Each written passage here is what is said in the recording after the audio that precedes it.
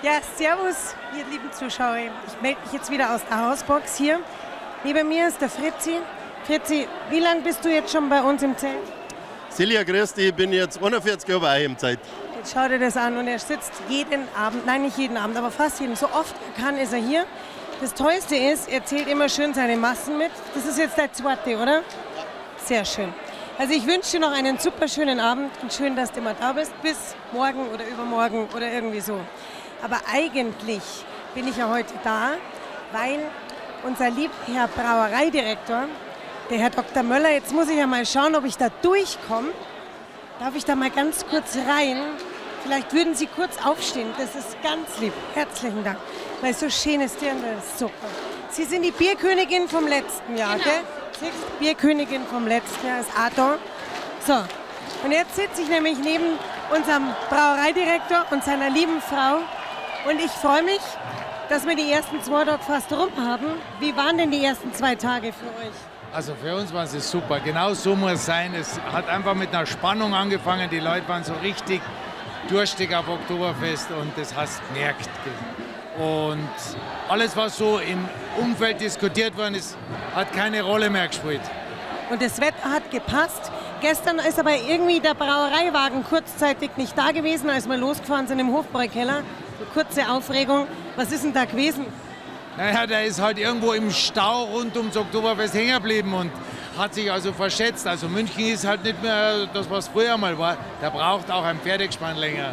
Obwohl die ja eigentlich Platz machen müssten. Aber das Tolle war ja, dass seine Frau gestern mit dabei war. Also ich muss ja dazu sagen, er fährt jetzt das wievielte Jahr das, den Brauereiwagen selber auf die Wiesen.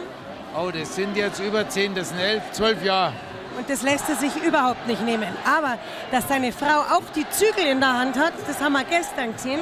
Weil sie saß nämlich daneben. Wie war denn das? Sehr spannend. Aber man muss schon mal schauen, wo er hinfährt. Also haben wir mal so ein wachendes Auge drauf gehabt. Also Sie haben ihm dann gezeigt, wenn der links oder mehr rechts Wo oder... der Weg hingeht. Sehr gut. Aber ihr seid gut mit uns angekommen. Es war ein super Auftakt. Gut im Blick gehabt.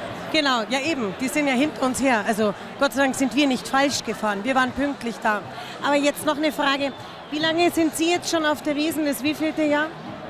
Es ist mein 19. Jahr, mein 19. Wiesen. Ja, Wahnsinn. Siehst du, haben wir nächstes Jahr ein Jubiläum. Gut zu wissen. Äh, was hat sich denn jetzt verändert von damals zu heute? Gravierend. Gibt es da irgendwas? Na, es sind schon mehr Leute geworden, aber so substanziell hat sich nicht geändert. Die Freude aufs Oktoberfest ist noch immer da und äh, mit einer Begeisterung kommen Leute von Bayern, aber auch von Deutschland oder international hierher. Es hat sich ein bisschen vermischt. Es gibt nicht mehr so das richtige Italiener-Wochenende, aber wir merken natürlich unsere südländischen Freunde immer noch. Ja, wunderbar. Die brauchen wir ja auch, weil die sollen ja hier auch mitfeiern. Und wir freuen uns, dass wir jetzt noch schöne 14 Tage vor uns haben. Der heutige ist ja schon fast rum. Und hoffen wir, dass wir gesund bleiben. Bei mir ist die Stimme schon gestern ein bisschen dahingegangen. Irgendwo im Zelt liegt sie. Aber eine Frage muss Ja. ich jetzt noch fragen. Wenn ich eine Herzalmalerin wäre und Sie könnten ein Herzal malen lassen, egal was draufsteht, für wen würden Sie es malen lassen und was würde draufstehen? Ganz spontane Antwort. Das ist deine Antwort. Ich liebe dich. Für euch einander, für jeden, für jeden eins, oder? Das finde ich schön. So soll es sein. Also, ich bedanke mich ganz herzlich